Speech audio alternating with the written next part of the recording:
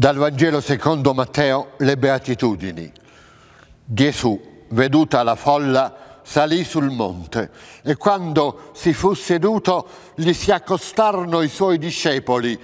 Allora egli aprì la sua bocca per ammaestrarli e disse, Beati i poveri in spirito, perché di essi è il regno dei cieli. Beati i miti, perché essi erediteranno la terra beati gli afflitti, perché essi saranno consolati. Beati gli affamati e assetati della giustizia, perché essi saranno saziati. Beati i misericordiosi, perché essi otterranno misericordia. Beati i puri di cuore, perché vedranno Dio. Beati i pacificatori, perché essi saranno chiamati figli di Dio.